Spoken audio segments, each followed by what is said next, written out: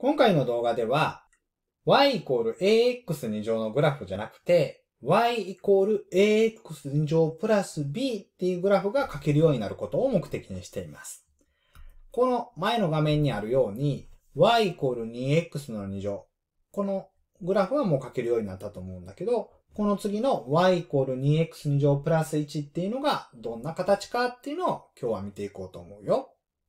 じゃあまず表にまとめたんですけど、x、これ代入していくとどうなるかっていうと、2x2 乗の場合は、ここは 2×-2×-2 なので8だね。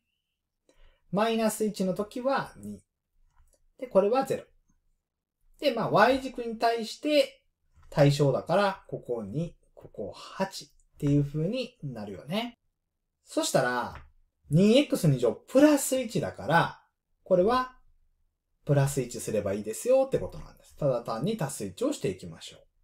9、3、1、3、9っていう風に書けばいいですよっていうことです。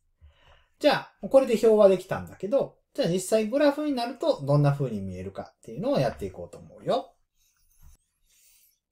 はい。それでは実際にグラフを表してみたいと思います。まず、y イコール 2x2 乗をグラフで表すと、原点を通って、1の時に、2の時に8だから。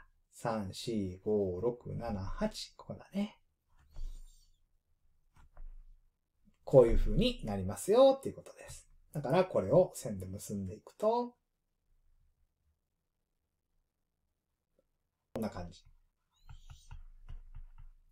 じゃあ、2x2 乗プラス1はどうなりますか？って言ったら、足す1をすればいいので、ここ1通って、3通って、えー、これは9を通るってことですね。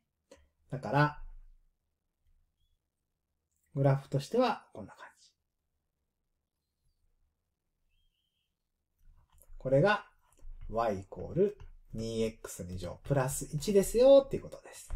つまり y イコール 2x2 乗のグラフから全部上向きに1ずつ上がったものだっていうことがわかるわけですね。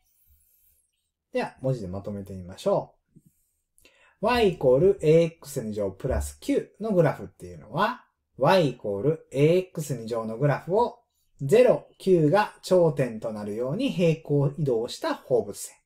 まあ、つまり9の分だけ上に上がったり、下に下がったりすればいいですよっていうことね。放物線の軸は y 軸になりますよっていうことです。では、次の二次関数のグラフを書こうということで、この3問やってみます。1番、y イコール x2 乗マイナス2っていうことなので、y イコール x2 乗のグラフだったらこういうグラフだったけど、それをマイナス2ずつするので、0の時にマイナス2。1の時にマイナス1。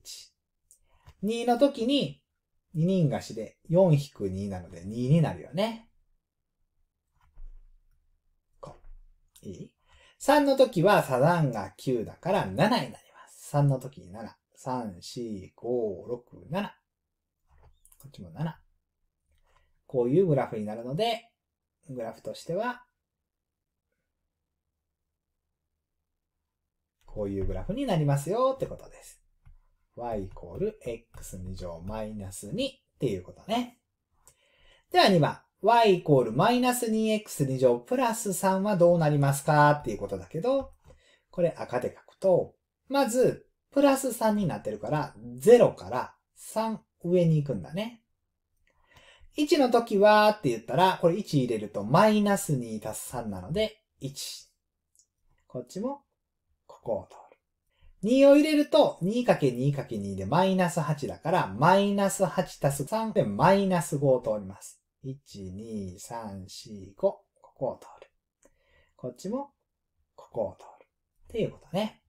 4の時は、四四16で、もううんと下がっちゃうので、もうこれ以上は書けないので、これをなぞっていくと、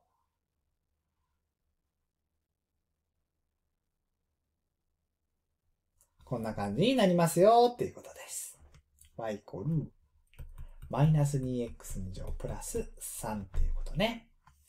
はい。では、カッコ3。カッコ3は y イコール、マイナス x2 乗マイナス1ということだから、これでやっていこうと思うよ。じゃあ、まずマイナス1だから、マイナス1を通ります。あとは、マイナス x2 乗なので、1の時にマイナス2。2の時はマイナス4足すマイナス1でマイナス5を通ります。だからここ。同じだね。で、3の時はマイナス10だけど、これはもうはみ出ちゃうから、ここまででグラフを書きましょうってことです。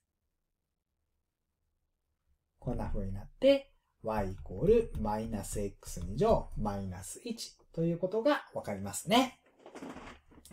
こんな風に二次関数のグラフで y イコール ax2 乗プラス9っていう形はおさらいするけど、原点からここの部分ね、マイナス2とか、プラス3とか、マイナス1だけ移動して、あとはそのまま数値を当てはめていけばいいですよっていうことです。これがグラフの書き方。しっかりと練習をしておきましょう。